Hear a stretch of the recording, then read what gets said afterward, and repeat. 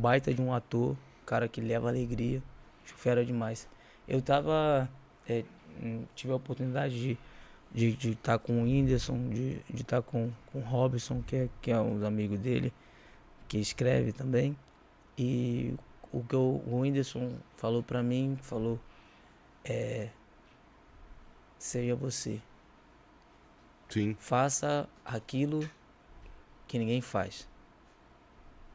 Seja você, faça aquilo que ninguém faz e é o time. E ele falando, eu sou muito. Eu, eu presto atenção em tudo, sabe? Eu presto atenção em tudo. E, quando ele me falou isso, eu já tinha esse meu pensamento. É, todas as, as histórias que eu falei aqui não é piada. Eu acho que, que o humor, o show de humor, é aquilo que foi vivido, que é engraçado. Tem piada, tem uhum. a, um tempero, os cactos que você vai uhum. colocar. Uhum. É, e ele falando isso me deu uma certeza de. É, eu tô focado. Eu tô no caminho certo.